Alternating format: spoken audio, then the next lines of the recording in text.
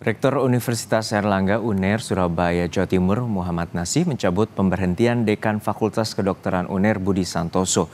Namun Rektor UNER enggan mengungkapkan alasan pemecatan Dekan FK Budi Santoso sebelumnya. Pencabutan ini diumumkan Rektor usai sholat asar berjemaah di Masjid Kampus C Unair. Rektor telah menerima surat tertulis dari Profesor Budi Santoso dan mengumumkan pengangkatannya kembali sebagai Dekan FK UNER dan aktif bertugas mulai hari ini. Diduga Budi Santoso diberhentikan lantaran pernyataannya menolak dokter asing.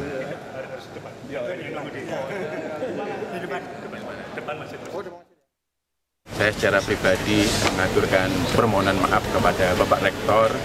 Mungkin saya eh, maksudnya adalah bermaksud untuk mewakili diri pribadi, tapi mungkin eh, terlalu kelewatan sehingga saya menggunakan institusi ini yang eh, mungkin eh, salah saya dan alhamdulillah Bapak Rektor sudah memaafkan dan semuanya saya serahkan kembali kepada Bapak Rektor.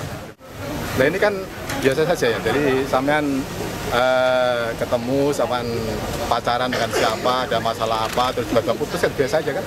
Rumah tangga kan situ aja lah, jadi nggak usah nggak usah uh, baperan, tapi insya Allah semua sudah oke, okay. Prof. Bus sudah menyampaikan suratnya pada kami, sudah kami baca, dan kemudian beliau sudah kita angkat kembali menjadi dekan Fakultas Kedokteran. Ya.